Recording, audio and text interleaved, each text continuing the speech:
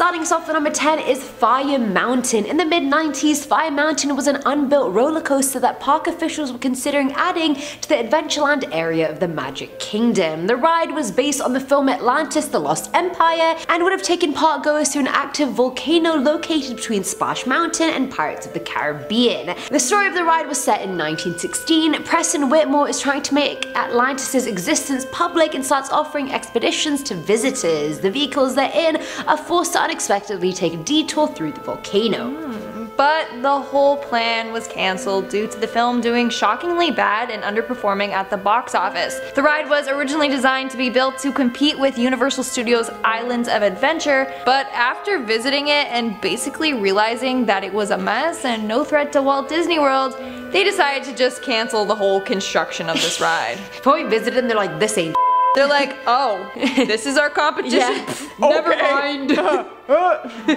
In our ninth spot, we have The Nightmare Before Christmas. I am disappointed that this project never got finished because I'm a huge fan of The Nightmare Before Christmas and Jack Skellington. It's just a classic movie. Is it a movie to watch during Halloween? Is it a movie to watch during Christmas? The answer is, it's a movie to watch during both of my favorite holidays. Like, that's amazing. But anyways, the Nightmare Before Christmas ride was going to be built beside the evil It's a Small World ride at Disneyland. Seriously, that ride is is cursed or something. It was going to have guests in a flying coffin help Jack save Christmas.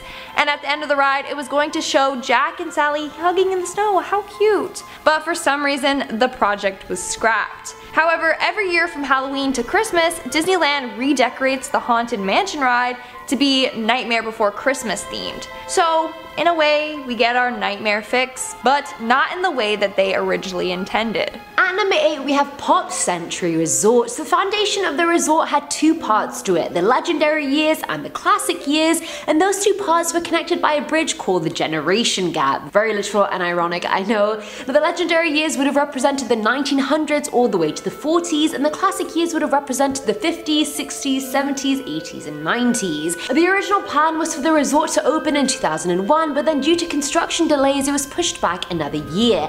And then 9-11 happened, which plummeted tourism to basically nothing. The opening was then postponed again because there was zero demand for hotel rooms. Construction on the classic years side continued until its opening in 2003, but the legendary years side hasn't been touched since 2001. In 2006, Disney announced they would restart construction on the abandoned side, but that never happened. LOL. In 2010, it was announced Disney's Art of Animation Resort would be replacing the legendary side, but the original buildings still stand. As for the classic years side, we don't talk about that no more. Making our way down the list to number 7 we have the Food Rocks. Food Rocks was opened in 1994 and featured a musical show with animatronic figures.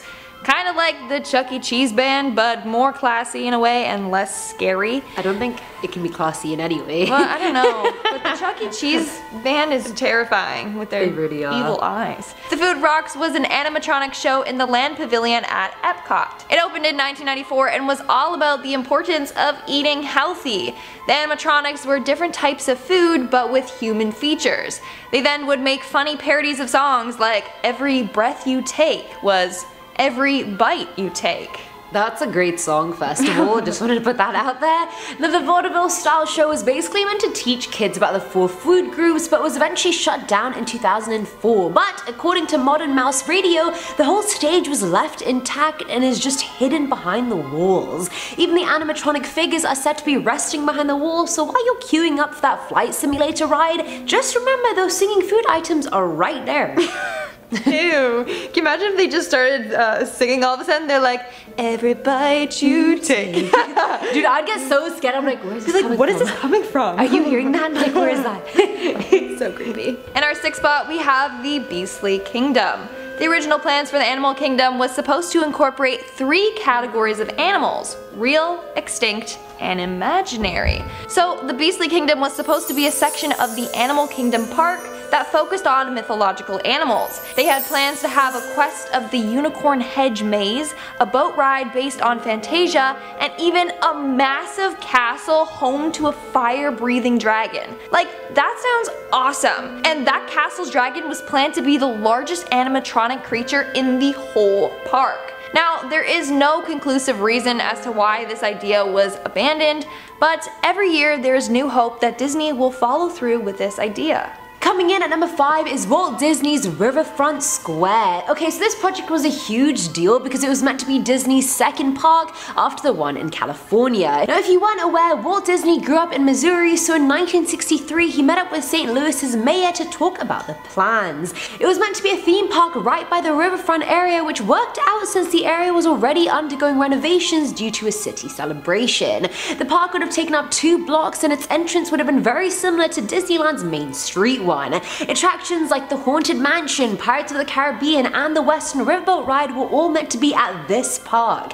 Unfortunately, the plans for the park completely fell through in 1965 due to financial and ownership issues. Walt then turned all his focus to the Walt Disney World in Florida, and I mean, it's a good thing he did too. That one's vibing.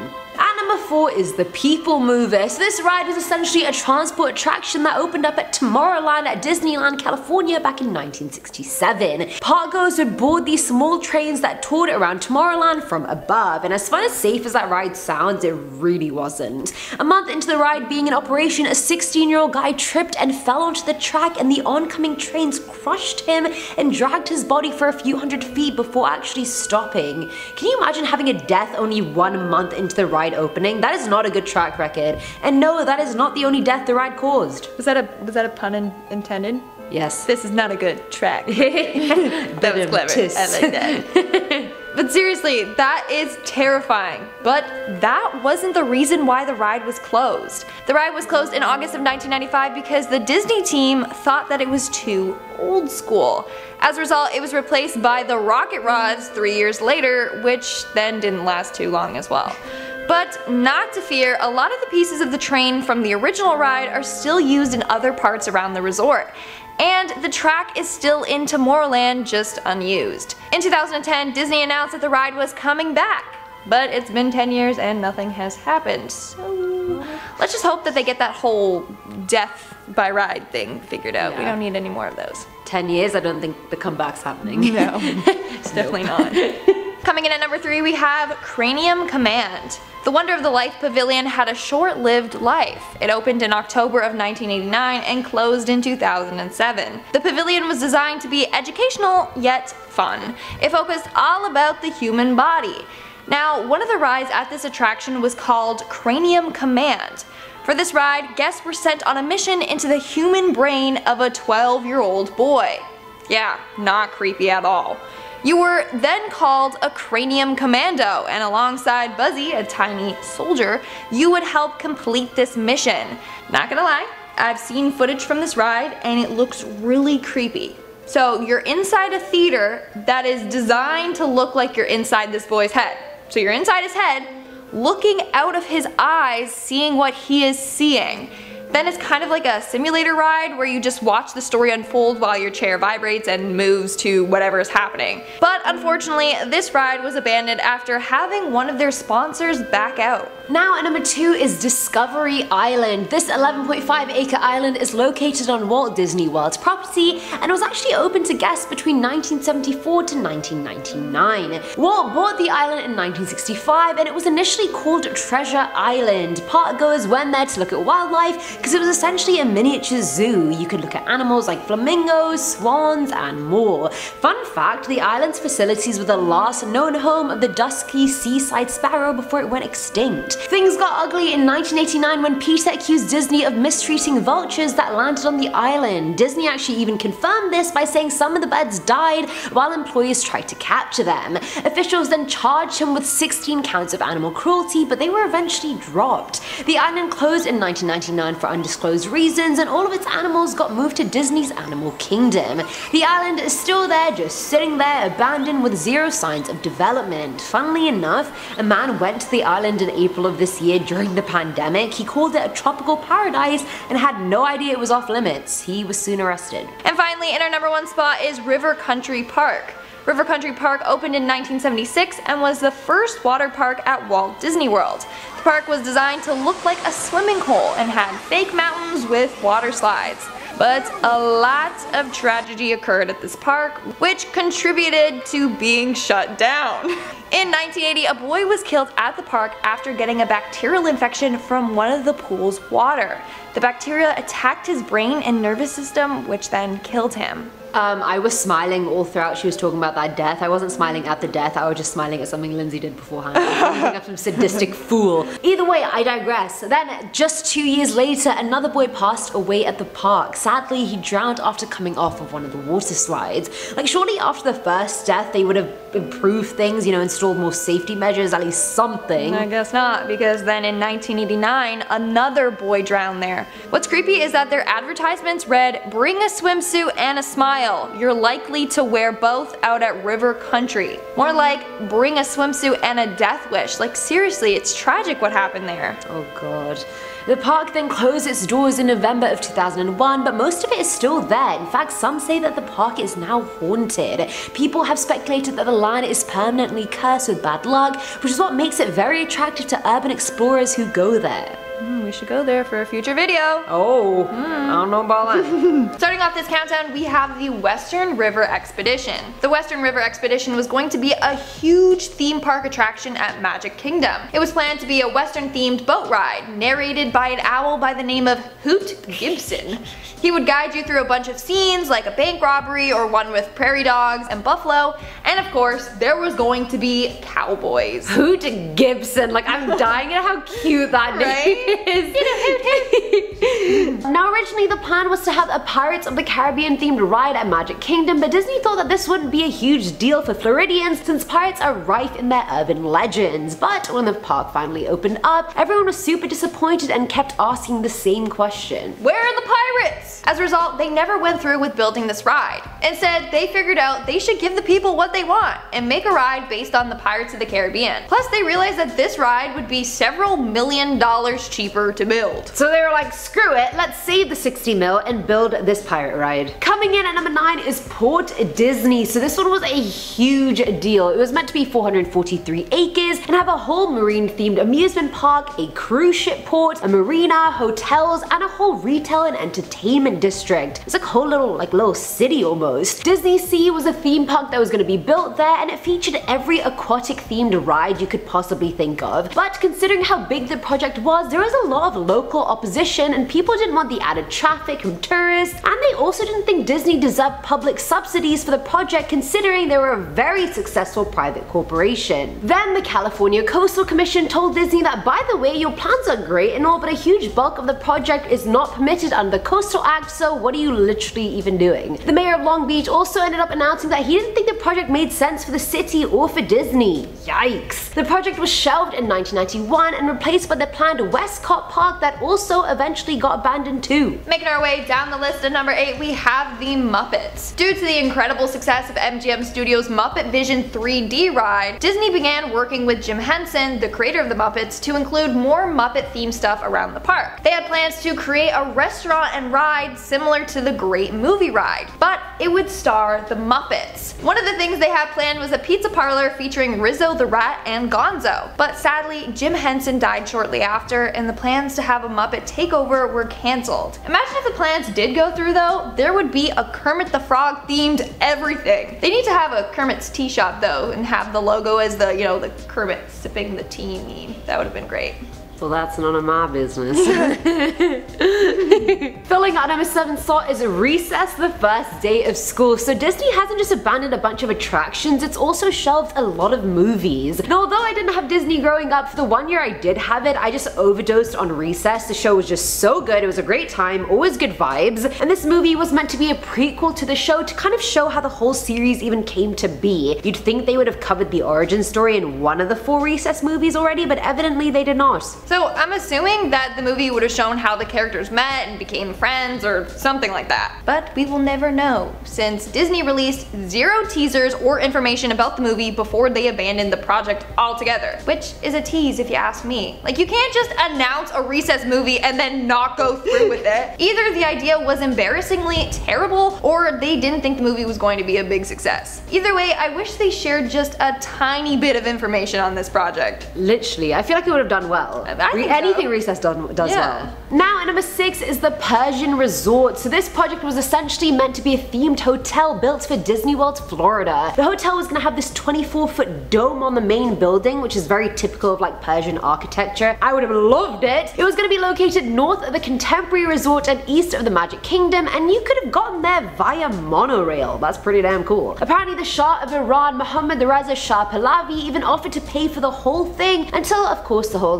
1973 oil crisis happened. The project was cancelled along with the planned Venetian resort and Asian resort. The Shah still offered to finance the project until the Iranian Revolution, after which the project just got the axe for good. We are now at our fifth and halfway mark with Mythica. Now, there is little known about Mythica. In fact, we don't even know when it was in development. Nonetheless, it was a real concept that was going to be at Disneyland. So apparently, Mythica was going to be the name of a land with scenery, rides, and dining, all inspired by Greek and Roman mythology. Okay, as someone who loves Greek mythology, like I'm a huge nerd, I just love this idea. Wouldn't it be so cool? Like you could have rides based on the Greek gods. Like you could have a splash water roller coaster ride for Poseidon or a fire mountain ride for Hades. The ideas are endless. You could even have a section dedicated to Hercules. Like, come on, Disney, I got the ideas, you got the money, let's make this happen. At number four is My Peoples. The concept of this movie is so cute, I'm actually quite sad it never got made despite only learning about its existence like half an hour ago. Sometimes you just don't know what you're missing, you know, until it's just right there in front of you. Set in Texas during the 40s, this movie would follow two families, the McGee's and the Harpers, and as you can guess, the two did not get along. It's kind of a bit like Romeo and Juliet, since the family's children, Elgin and Rose, fall in love, while the families try to keep them apart.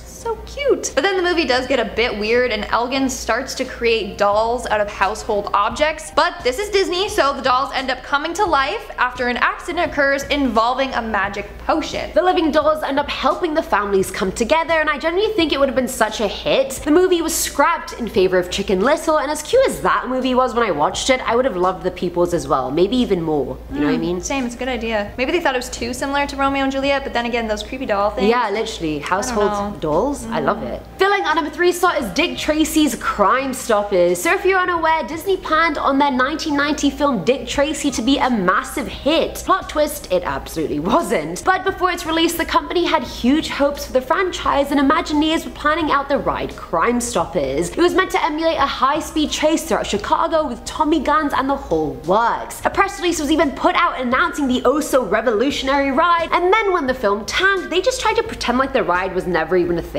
just sweeping it under the rug and pretending it just didn't exist. At least the Tommy guns didn't go to waste though, they ended up paving the way for the Buzz Lightyear Space Ranger spin shooting adventure, so yeah, you win some, you lose some. In our second spot, we have the Museum of the Weird. The Museum of the Weird was going to be the ultimate inception. It was going to be an attraction inside of an attraction. So it was going to be at the beginning of the Haunted Mansion attraction. It was going to include odd stuff like a chair that stood up and talked, along with other weird things collected from around the world. This concept was created by Walt Disney himself after thinking of all the unusual concepts one of his Imagineers came up with. He then figured he would combine them all in the Museum of Weird. But sadly, the plan was cancelled after the Haunted Mansion attraction was turned into a ride-through attraction. However, some of the designs are currently featured at this attraction, including the wallpaper used on the walls in the Corridor of Doors scene. And in our number one spot, we have Lost in Scaradise. Love the name of this.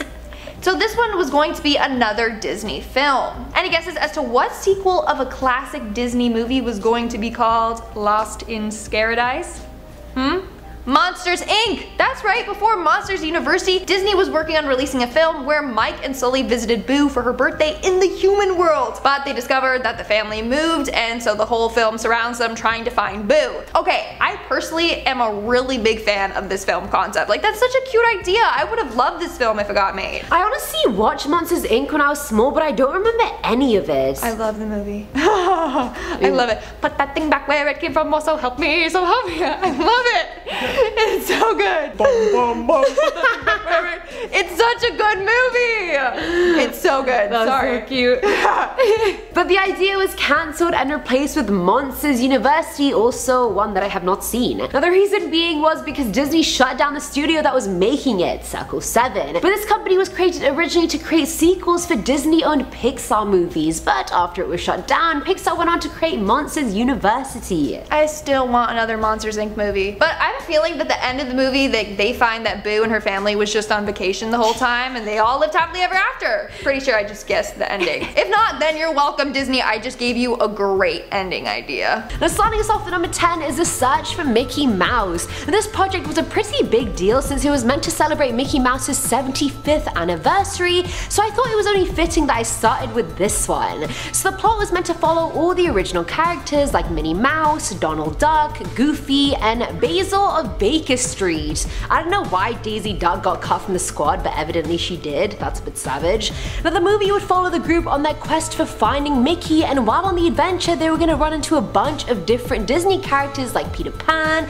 Aladdin, Alice, etc. Now, how boss would this film have been? Cameos from everyone.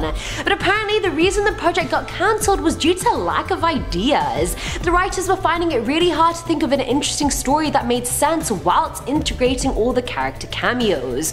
Honestly, good plot or not, I feel like people would have eaten up a movie with that many cameos and they should have just made it anyway. Coming in at number 9 is Yellow Submarine. Now this one may seem familiar since a little known band called the Beatles made a song of the same name as well as a movie.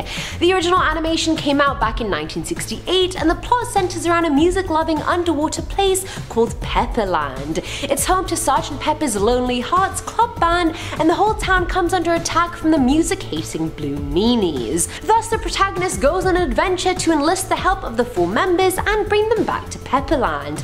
That was a very general summary of the film, I just wanted you guys to know what happened in it because I sure as not know. So Disney wanted to create a remake of the movie, but there was a slight problem. The original was super trippy to the point it actually really terrified kids, and the concept art for the remake would have had the same effect. Robert Zemeckis was one of the creators of the remake, but since the movie Mars Needs Moms tanked, which he also created, he was given no artistic freedom after that. Now the effects of the movie were gonna use stop motion technology like the Polar Express for example, but the whole project just got shelved for being too dark. At number 8 we have Disney's America. So back in the early 90s, Disney planned on building this theme park near Haymarket, Virginia. It was meant to showcase the history of the US and it was meant to have thousands of hotel rooms and housing, 9 themed areas, and 2 million square feet just for retail. The areas were meant to be Crossroads USA, Civil War Fort, Native America, President Square, Family Farm, Enterprise, We the People, Victory Field, and State Fair. The behemoth of a project with a $650 million budget was meant to open in 1998, but that did not happen. Upon its announcement, it had a lot of support from political officials like Governor Douglas Wilder and George Allen, but opposition to the project was a lot louder than expected from Project History America. They believed the theme park would desecrate the ground over which so many men fought and died on. But then again, the park would have honored the country's history, so was it really desecrating it? I don't really know. The American Farmland Trust opposed the project as well, and even nearby towns started changing their opinions. By 1994, Disney announced they would not build the park, and that was the end of that. Filling at number 7 slot is gigantic, so I love how Disney takes all these old fairy tales and modernizes them for our time. For example, tales like Snow Queen aren't even recognized anymore despite that being the premise for Frozen. Now Gigantic was an animated movie project of Jack and the Beanstalk which I'm only now realizing there isn't a Disney movie for. Is there? There isn't. Now the plot was set during the age of exploration in Spain and was gonna revolve around Jack and his friendship with 11 year old giant Irma. And she would have apparently been such a character she was described as feisty, fiery, and a lot to control. Unfortunately, no matter how good the idea is, sometimes things just don't work out and that was the case for Gigantic. Disney and Pixar's president Ed Catmull announced the project was being shelved for now, and I mean there could be a chance it makes a comeback in the future, who knows. The artwork for the film was actually super cute cute, so I really hope it does come back off the shelf. Now number 6 is Lafitte's Island. So this project was going to be a makeover of the Tom Sawyer Island located in Disneyland and how they were going to do that was by basing it on the pirate Jean Lafitte. Pargoes would go into Lafitte's crypt which would have been in a graveyard right opposite the haunted mansion. From there you would go through a catacomb themed tunnel network under the river to the island. The tunnels would have things like Lafitte's treasure vault and numerous shipwrecks. The reason for the project being abandoned was never made public but the project did inspire the actual pirate's lair that did come to fruition. Coming in at number 5 is Mort. I feel like out of everything on this list, this one hurt me the most. So this movie would have been based on the fourth Discworld book Mort by Terry Pratchett. The plot focuses on the character of Mort who goes on to become Death's apprentice, which isn't hard to gather if you know what the title is, Mort. Mort equals dead, it's only fitting. Now on the first mission, Mort ends up messing with everything including the fabric of time when he stops the death of a specific princess. The little concept art I've seen of the movie just looks morbid and dark in the perfect way, you know like it's not too depressing that I can't watch it, it's just nice and gothic. It's not super clear why the project got shelved but an artist on the movie called Sue Nicholas shared it was something to do with the rights of the novel. Apparently Disney just couldn't obtain the rights to do the movie so they obviously didn't. And number 4 is Roger Rabbit's Hollywood. I'm making a lot of slack for this in the comments, but am I the only one that wasn't really into the whole Roger Rabbit universe? Like I know it's a cult classic and whatnot, but I just wasn't interested. I didn't care. So Disney wanted to extend Sunset Boulevard and build Roger Rabbit's Hollywood because the movie had just come out. The project was gonna have a red car trolley going up and down the street, dropping off people at a Maroon Studios replica. Now that bit would have been located where Rock and Roller Coaster starring Aerosmith is today. The area would have had three attractions Baby Herman's Runaway Baby Buggy,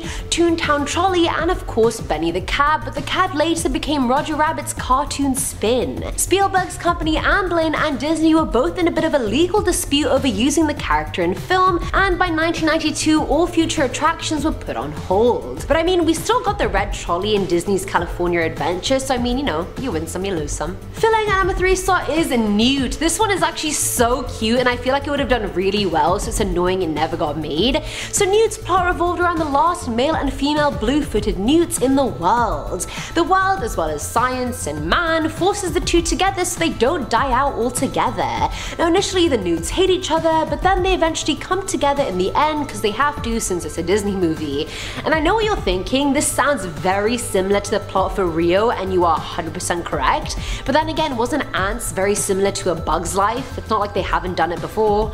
Either way, the creator of Up took the project and shelved it for his own idea which was what ended up being Inside Out. And that movie made me cry so I honestly don't even mind, that was a very good movie. But not to fret because the abandoned project still makes its way into Disney films via easter eggs. For example in Toy Story there's a sign in Andy's room that says Newt Crossing cute. Now number 2 is the Enchanted Snow Palace. So this wintry project was scheduled to be a dark ride at Fantasyland within Disneyland. A dark ride is one of those rides where you board those indoor ghost trains that take you throughout the ride. Now Marc Davis designed the project as a boat ride going along on a river of melting ice. You would go past scenes of arctic wildlife all while being under the northern lights which has always been a dream of mine. When I was little I wanted my honeymoon to be somewhere where I could see the northern lights and then obviously I grew up, but I still really want to see them. Anyway, the ride would eventually take you into this land filled with snow giants and frost fairies known as the realm of the Snow Queen. The concept art of the ride was insane, but it was eventually scrapped, but it did serve as inspiration for the Frozen Ever After ride at the Norway Pavilion during the World Showcase at Epcot. And finally at number 1 is the Aristocats 2. Hello! Am I the only one who's truly appalled and very angry that they never made the Aristocats 2? Who doesn't want to watch the sequel of a cat movie? It'd be great. And yes, I know I'm 100% biased, I don't even care. So the movie was gonna focus on Marie, the adorable white pink ribboned kitten from the first one who looks a lot like my own cat, so obviously I'm in love. Now the plot was gonna feature some adventure by having the cats go get a jewel thief on a cruise ship. To make it a bit more interesting, they were gonna have a love interest for Marie on the ship as well, and they would have fallen in love as the ship went from France to Scotland, Spain, and then England. Despite how well the first movie did, Disney was worried they had come up with a plot for the sequel way too quickly, and considering how badly The Fox and the Hound 2 did, they were in no rush for another failure of a sequel. Please release it, it'll be so good. Coming in at number 10, we have The Rainbow Road to Oz.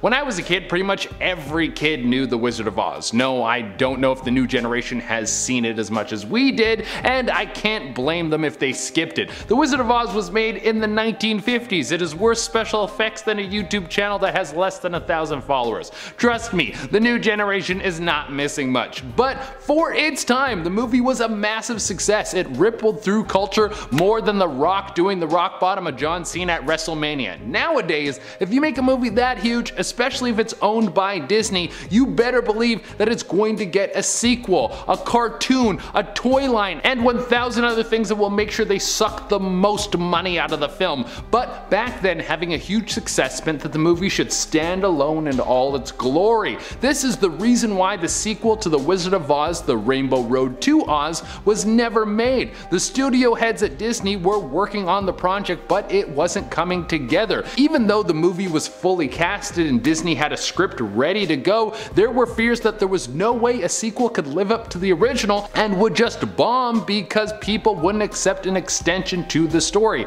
Also, apparently the script wasn't that good. But now that I have put this idea out into the universe, I'm sure someone at Disney will bring back The Wizard of Oz at Disney because Disney loves nostalgia more than I do. And guys, make sure you hit that like button because it really helps us out. Coming in at number 9, we have Don Quixote. It shouldn't be a surprise that Disney has tried to make one of the most famous stories of all time and turn it into a Disney classic. I mean, we have already covered how much they love to work with nostalgia, and on top of that, do you think they wrote The Jungle Book, Snow White, Little Mermaid, Sleeping Beauty, Beauty and the Beast, or Hercules? Of course not. Those are all based off of old stories or legends, so Don Quixote seems like it would be right up their alley. The man from La Mancha who would woo any woman and slay any man. He was the original bad dude that lived by the mantra, women want him and men want to be him. Now Disney would of course cut out all the sexy bits because we're trying to shove this into something that would be appropriate for a younger audience.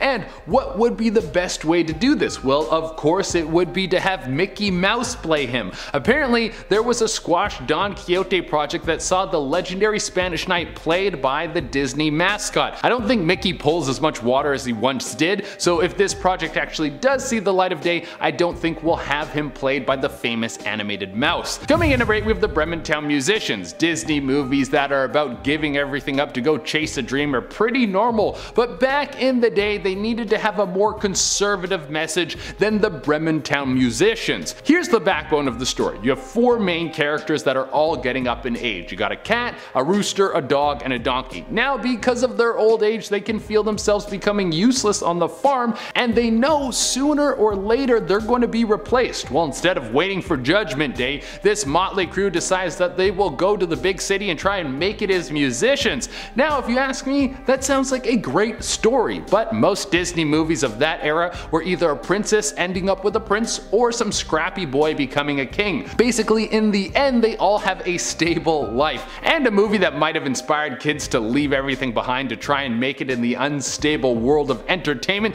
could have sent home a message that got parents a little worked up back in the 90s. Coming in at number 7, we have DuckTales the movie. DuckTales used to be huge, a show about three rambunctious humanoid ducks who went to go visit their rich uncle who would jump off a diving board into a pool filled with gold coins. Yeah, the show was made in a time before the majority of the public had a burning hatred for people who flaunted their wealth. But ignoring a duck that's literally swimming in money while others are struggling to get food on the table, DuckTales was a show that was all about adventure and mystery. The gang going to far off places to seeing what the dark corners of the earth had to offer. I loved one of the DuckTale games so much that I used to play the DuckTale game endlessly on my Sega Game Gear. I don't think I ever beat it, and now I have this urge to go back and play it. I just need to get my hands on a Sega Game Gear. But there was one DuckTales movie, Treasure of the Lost Land, which was supposed to be the first in a series of DuckTales movies. Unfortunately for DuckTales fans, the movie kind of bombed in the box office,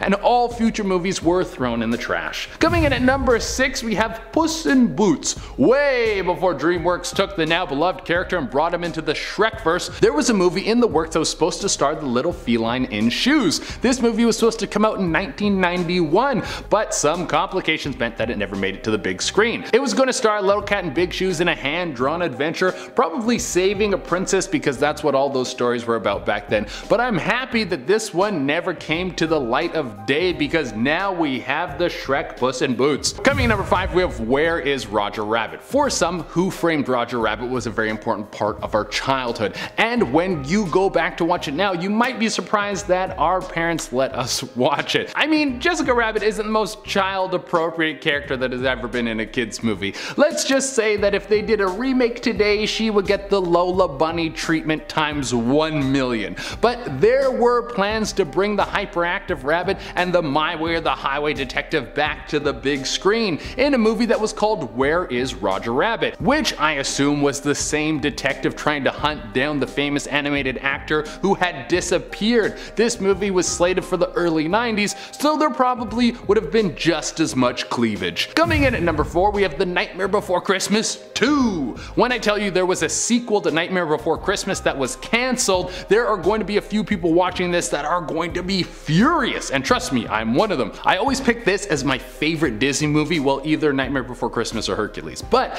Nightmare Before Christmas was so good and there was so much left to explore. Why did we not get more from Jack Skellington? Well, rumor has it that Disney wanted the movie, but they wanted to make one major change. Instead of having the movie all shot in stop motion animation, they wanted to move it to CG. Now obviously a big part of the movie is the look of the stop motion animation. Director Tim Burton understood this and he was the one who got Disney to change their minds and cancel the project. And I don't blame him either. It's better to have one great film than one great film and a sequel that kinda tarnishes the reputation of the first. Also, let's start an argument in the comments. Is The Nightmare Before Christmas a Christmas movie or a Halloween movie? Let me know what you think and you can't say both. Coming in number 3 we have The Yellow Submarine. If Marvel has taught us anything, it's that people love collabs, whether it's Iron Man teaming up with Spider-Man or in this case the Beatles teaming up with Disney. Back in 2011, Disney was looking into doing a remake of the animated movie about the Beatles that came out back in the 60s. That would have been wild. For the first time since Alice in Wonderland, Disney might have made a movie that was both appropriate for kids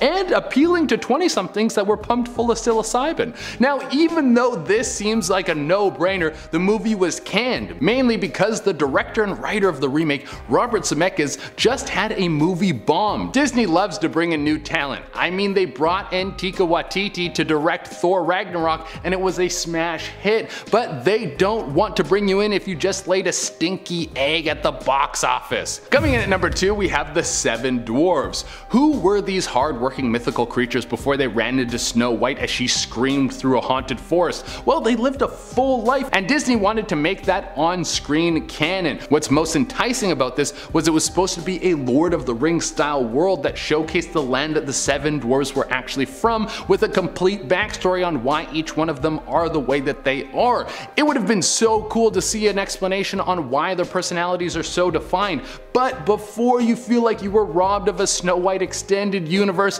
let me tell you that these movies were supposed to be straight to DVD and were never planned for the big screen. Coming in at the number one spot, we have Monsters Inc. 2 Lost in Scaradise. You know when a movie has a full title with a colon and a pun in its name, it was far down the production line. Well, you don't know that for sure, but with the details that were leaked about this movie, it was seemed that the script was done. All that needed to happen was Disney to give it the green light. Now, the movie was about Mike and Sully making their way over to the human world, as if having one human around wasn't enough to deal with. They thought they should head to another dimension where there are billions, but their motivations were just. They wanted to give Boo a birthday present. Just picturing them doing that makes me think of Sully putting the door back together so he can see Boo one last time and I get so choked up. Ah. But when Sully and Mike Wazowski cross to the other side, they end up getting stuck in the other world. They then need to find their way back. Now the movie didn't happen because the animation studio where the writers and scripters worked, Circle 7,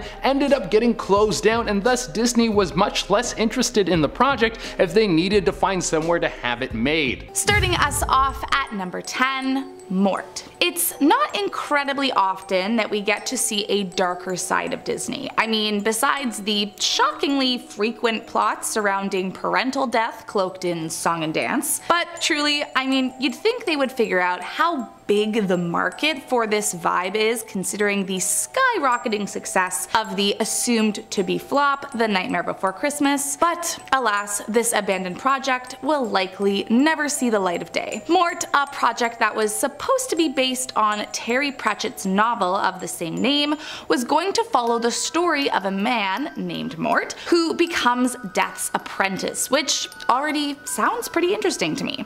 Reportedly on his first solo mission, Mort however however, accidentally ends up messing with the fabric of time, which results in the prevention of a death. And of course, the person he accidentally prevents from dying is a princess. Other than that, there's not much information surrounding the film except that the creators of Moana were also apparently attached to it, and the reason behind it being dropped is fairly hush hush as well. Some have speculated that they were forced to drop the concept as they couldn't obtain the rights to the story, but but unfortunately, whatever the reason was, we will never see it. Which sucks, cause this sounds like it would have been awesome. Coming in at number 9, Dumbo 2. Some sequels are great, others are well, let's just say not so great. And although I loved Dumbo, it's hard to tell if this one would have fallen into the former or the latter of those two categories. The sequel was apparently going to take place exactly one day after where we left off in the first film, and was going to follow Dumbo along with a crew of other young animals who get separated from each other in New York City. While trying to find their way back to each other, each character then learns how to fix their own problems and reportedly each animal was intended to symbolize a different aspect of growing up. Now, again, I could see this maybe working out with the right writing and a good plot. I mean, Disney's no stranger to a metaphor, but I could also see it going horribly wrong fairly easily as well.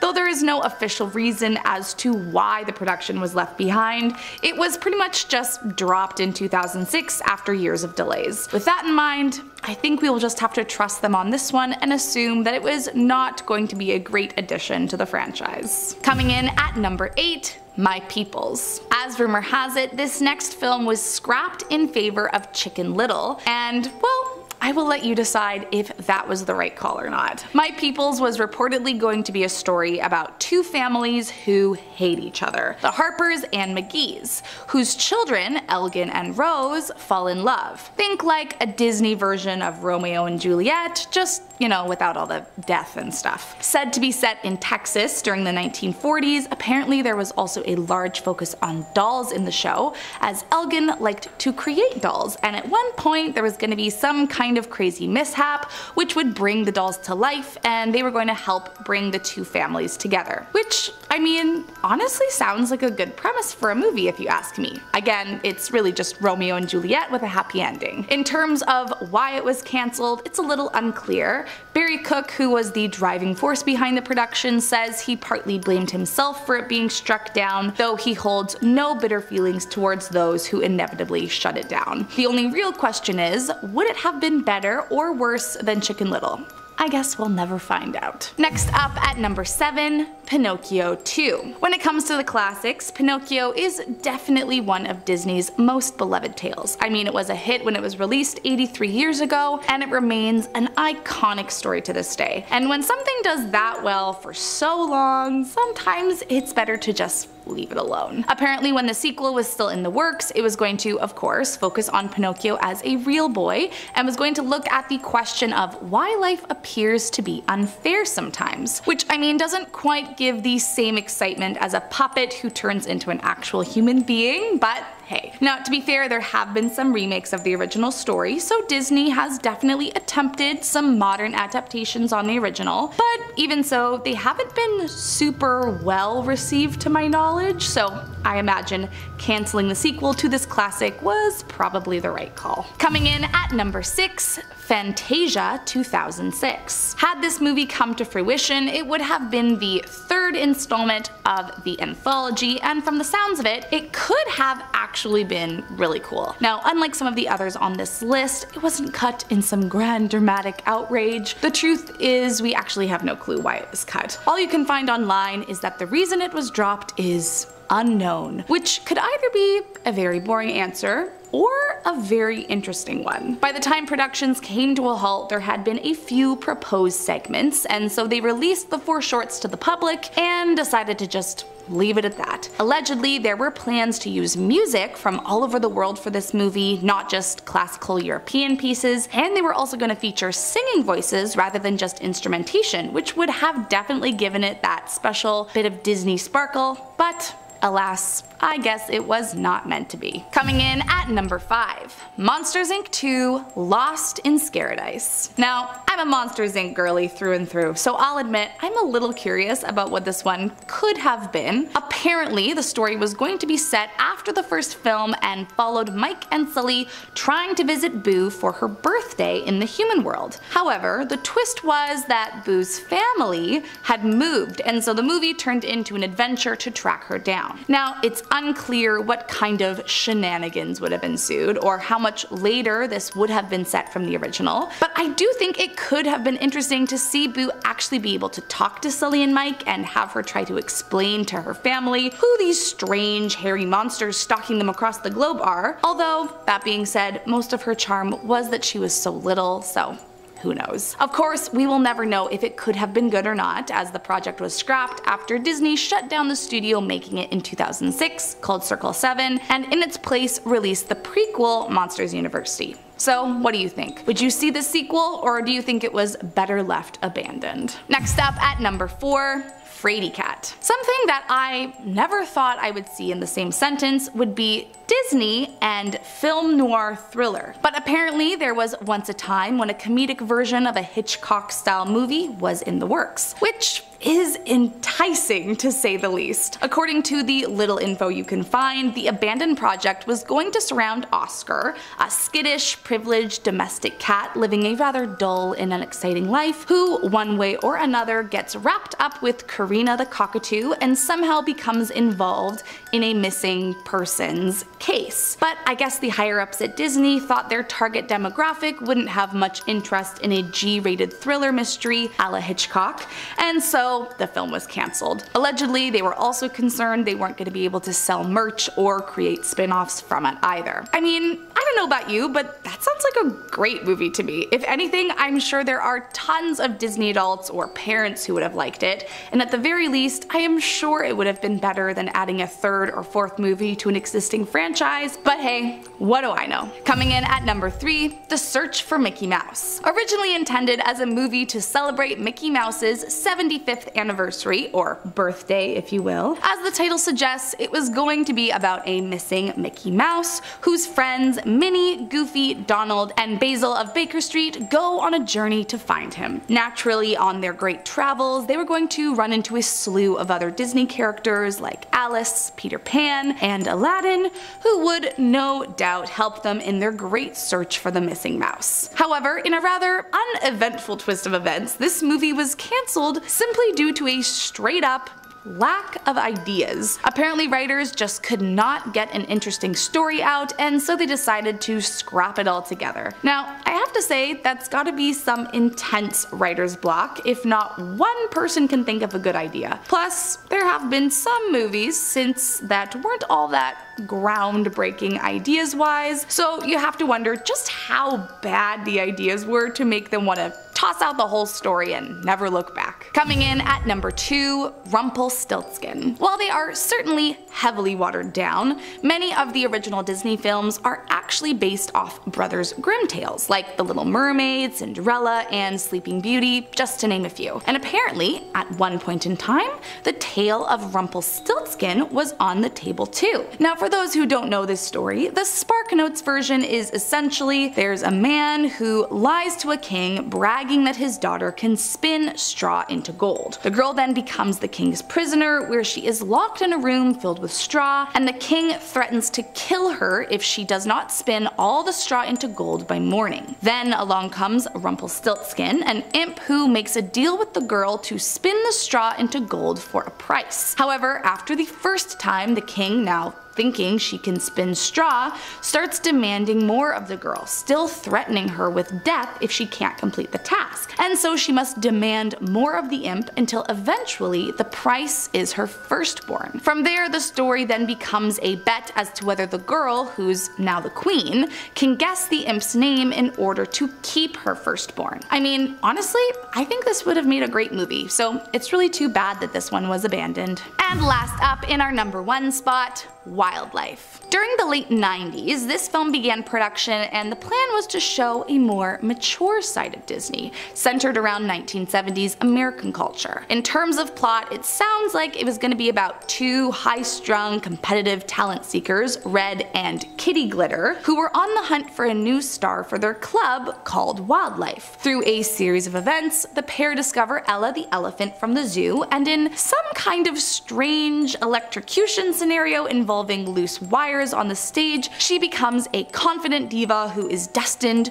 to achieve riches and fame. However, in the end, Ella yearns for the simple life she led at the zoo, of course causing some complications for her managers. Now, according to what I found out about this abandoned project, it had easily the most dramatic ending than all of the others on this list. As I previously mentioned, it was quite a bit more mature than Disney usually went, allegedly filled with what one might call adult humor, and apparently during the 1999 viewing, Vice Chairman at the time Roy Disney was so disgusted and outraged by the film that he ordered it to be shut down immediately. And that was that. It never saw the light of day. But I have to admit, that makes me kind of want to watch it even more. Like what was so inappropriate about this movie that caused so much drama? I mean let's be honest, we've all seen some weird moments in Disney movies that make you question how they got past editing, so what made this one a write-off? I guess we'll never know. Starting us off at number 10 is Lake Buena Vista Airport. If there is one thing that Disney does best, it's branding their empire. And once upon a time, an airport, of all things, was a part of the Disney dynasty dynasty. You see, when Walt was first trying to create Epcot, the community, not the theme park, he wanted a regional airport with four runways. This vision did not quite come to fruition, but what we did get was the 1971 Buena Vista Airport. This boutique airport, if you will, was only used by two airlines and was meant for Disney guests and employees, and the biggest feature it became known for was that When You Wish Upon a Star played after landing landing thanks to small grooves in the runway. However, cute factor aside, despite Walt's grand plans, the dream began to die in the 1980s with the construction of the monorail. The airport, now surrounded on either side, became dangerous to use, and so eventually no more flights were allowed in or out. Nowadays, the abandoned airport is mostly used for storage and parking rather than an attraction for the public, but it's said that Walt's abandoned plane is hidden somewhere on the lot. And who knows, maybe his ghost is still in there. Next up at number 9, the Wonders of Life Pavilion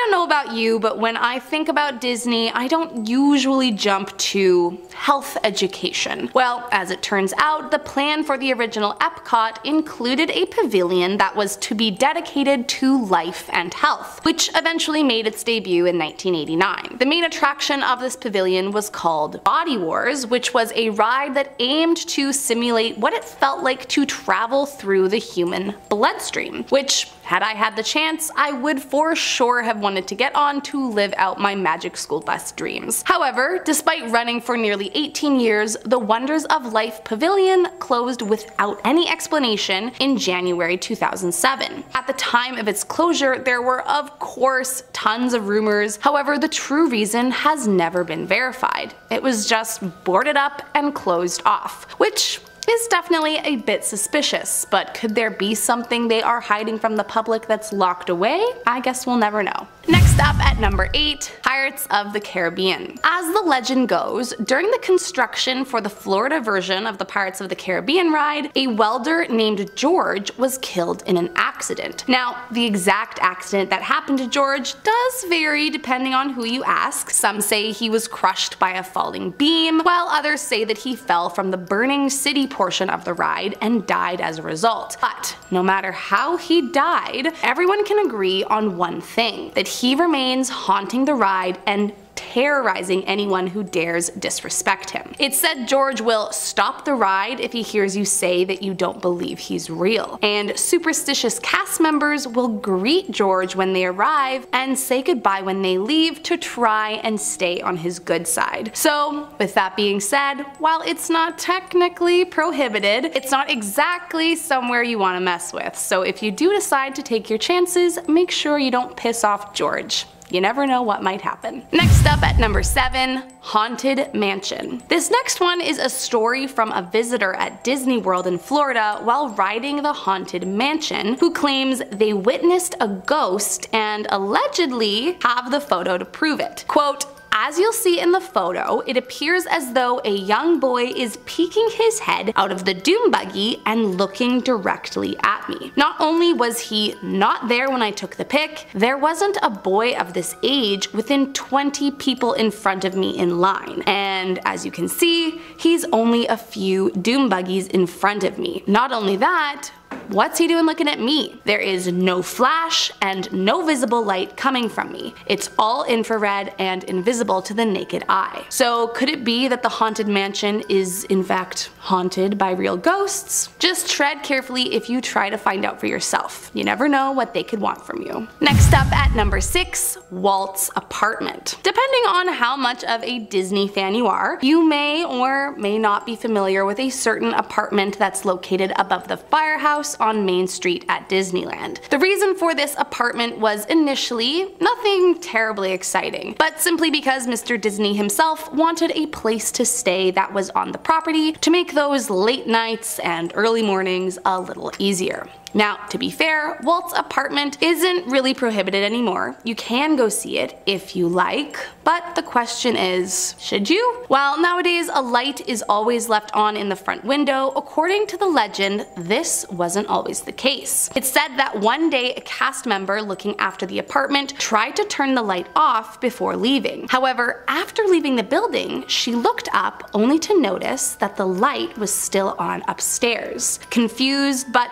assuming she must have forgotten, she went back up to turn it off and came back downstairs. But once again, it was on. So she went up again, unplugged the lamp, only to find it once again still somehow back on by the time she came downstairs. The final time she went up, she heard an angry voice saying, quote, I'm still here. And she was so frightened, she ran away and never returned back to work. Who could that voice have belonged to? No one knows for sure, but the light remains on so as to never anger it again. Coming in at number 5, Dolly's Dip. In 1984, Regina Young, or Dolly as she liked to go by, was tragically killed while riding the Matterhorn. It seems there was a malfunction in Dolly's seatbelt resulting in her falling out of the bobsled and being struck by an oncoming sled. The family eventually settled with the park and the park simultaneously changed the kinds of seatbelts used for that attraction. However, the park says that the two events events are unrelated. Now, of course, the Matterhorn remains a public ride, so you're free to take your chances on it, but be warned, it's said that the ghost of Dolly haunts the ride, specifically at the location she was killed. Referred to as Dolly's Dip, visitors and employees alike say they have been haunted by her presence while inside. Some say they can feel her watching them, while others claim to have seen a full-bodied apparition. But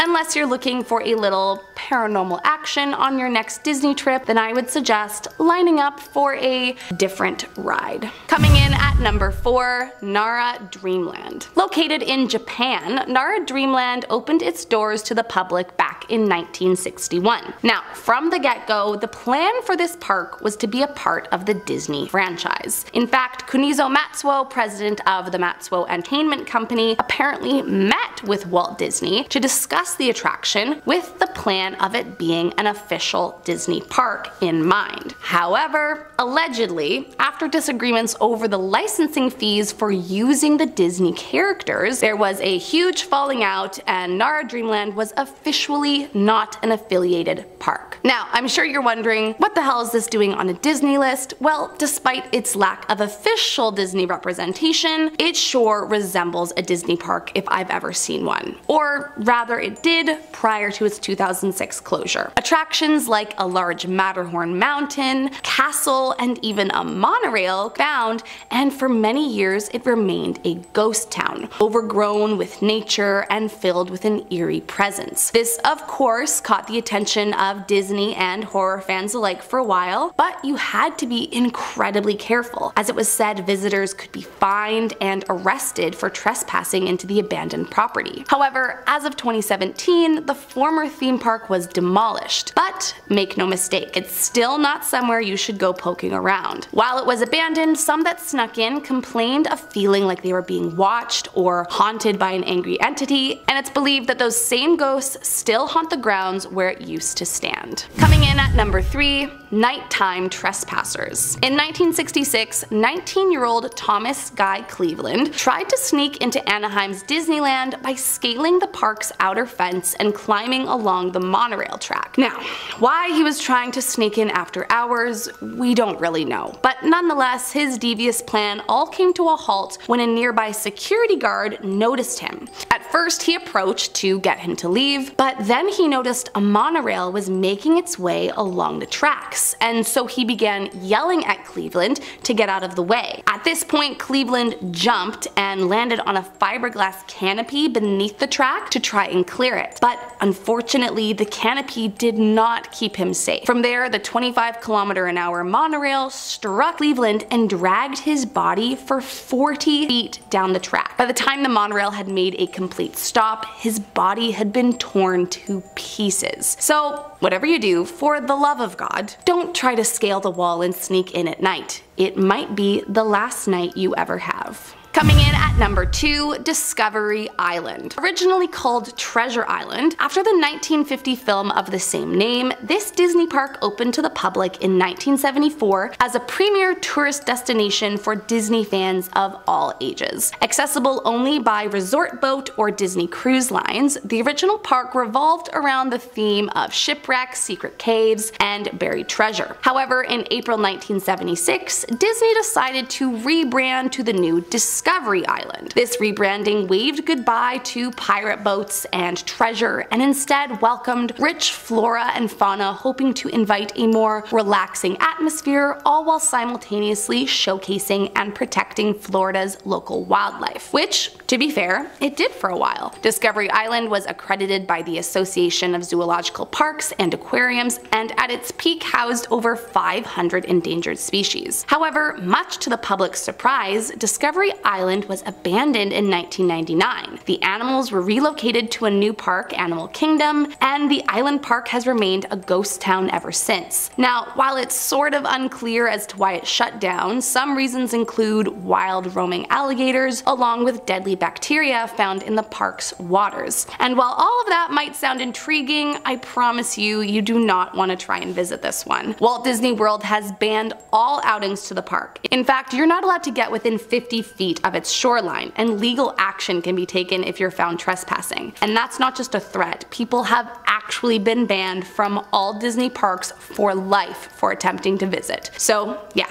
if I were you, I would steer clear of this one. And last up in our number one spot, River Country. After opening as the first water park at the Walt Disney World Resort in 1976, River Country was a popular destination for many years. And out of all of the places on this list, this one definitely has the wildest backstory. Controversy around the water park started to bubble up back in 1980 when a boy tragically died there due to an amoeba that was found in the water. The amoeba in question managed to kill him by attacking his brain and nervous system. However, Disney was absolved of the blame due to the fact that that specific amoeba could have bred in any fresh water. But the story's not done yet. Fast forward two years to 1982, and another boy died at River Country, this time from drowning on the Whoop-'N-Holler slide. This time Disney was sued by the family of the boy who claimed that there was no proper warning about how deep the water was, and a lifeguard testified admitting that they had to routinely save dozens of people from that slide on a daily basis. Even so, the park remained open. Then in 1989, another boy drowned there. However, it wasn't until the events in September of 2001 went down that Disney was forced to close the park due to the nationwide tourism cutback. From that day forward, the doors have remained shut and the park has been closed off to the public, though some believe that those who have lost their lives still roam around haunting the grounds.